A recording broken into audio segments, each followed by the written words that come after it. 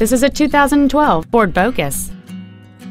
It features a 2.0-liter four-cylinder engine and an automatic transmission. All of the following features are included. A multi-link rear suspension, a low tire pressure indicator, traction control and stability control systems, a CD player, a four-wheel independent suspension, front fog lights, privacy glass, dusk sensing headlights, air conditioning, and this vehicle has fewer than 27,000 miles on the odometer. Please call us today for more information on this great vehicle.